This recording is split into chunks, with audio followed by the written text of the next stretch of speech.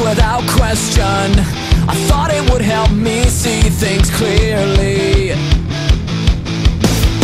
But instead of helping me to